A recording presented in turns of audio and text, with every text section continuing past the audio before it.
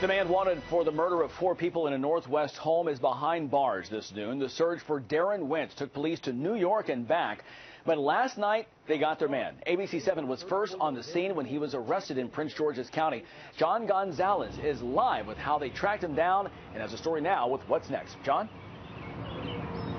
Larry, what a wild 48 hours. U.S. Marshals traveled more than 400 miles tailing this very dangerous man. He'd led them to this Howard Johnson here in College Park. He checked into that room, 412.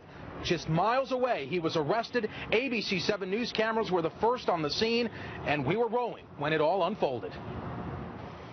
It was an intense 48-hour manhunt that took U.S. Marshals to New York and then back to Maryland. A fugitive task force surrounded this Howard Johnson in College Park. They knew 34-year-old Daron Wint checked in here, and late last night he got into a car and tried to check out. They did a wacky U-turn. We thought maybe they were they were uh, um, aware that they were being tailed. We did a vehicle pin maneuver on both vehicles and were able to uh, stop them and arrest everybody with no, not a shot fired, nobody getting hurt. Once in Northeast D.C. on Rhode Island Avenue, his brother and Wint, the prime suspect in this horrific quadruple murder, were arrested, and four other people, including two women, were detained. Take a look. Wint already has a long laundry list of past problems with the law, including assault and sex offense. We tracked him up to uh, New York City, and we barely missed him last night. Mm. We have our New York, New Jersey Regional Fugitive Task Force together with uh, NYPD.